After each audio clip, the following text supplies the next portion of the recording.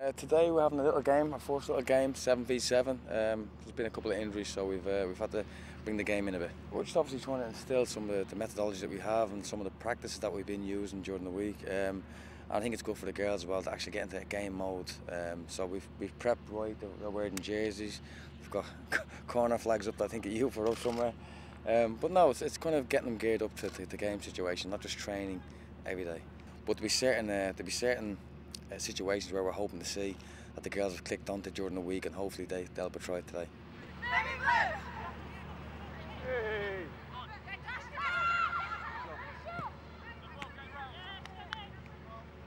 I think it was a, a, good exercise for us to get the girls on the pitch and you know, to put a competitive game on for us. You know, in week three of pre-season, it, you know, it was good.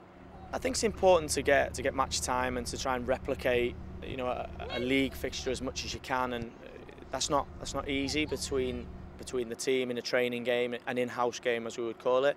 But you know, conversations before the game, we try and set the tone and the tempo of it, and then it's down to the players to to set the tempo and to replicate you know how we want to play with and without the ball. So, you know, lots of positives today. We want to get into back onto the pitch, back playing, and. Um to be honest, I felt better than I thought I was going to feel, which is, is always nice. And we've been working hard in all the sessions, and um, and to finally get out and just have a, an 8v8 game where we can get all kitted up again and um, see the girls in their kits and see that they, they suit the colour blue. I think it was I think it was all good for us. We, we have a core nucleus of players that were here last season, and, and the messages are the same this season. You know, how we want to play and how we want to be seen to be moving the ball around the pitch and creating lots of opportunities and lots of chances. So. Uh, the, the training sessions have been, say, messages for the new players.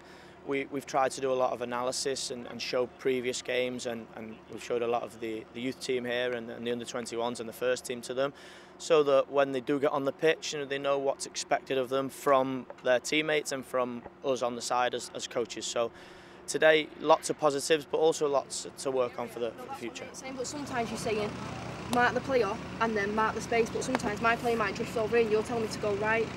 The primary objective of this trip is to, is to grow the team, build the team and try and uh, you know, create a culture and an environment that we want and we want to be a strong team with a strong bond. Now, I, I was watching and I, I, did, I was originally going to put in some tactical bits, but as the players come off, they started to discuss it, and actually they were discussing some things that I was going to say, so I just let it go, and, and some real good conversations. And you know, we do want to be seen to be playing attacking football, but we also want, you know, we want, we want to be seen to solve the problem out there. And, and you know, I think last season there was some difficult periods, and if we can improve on on dealing with other teams' threats, that that'll equip us better to go into games to you know to win more football matches next season?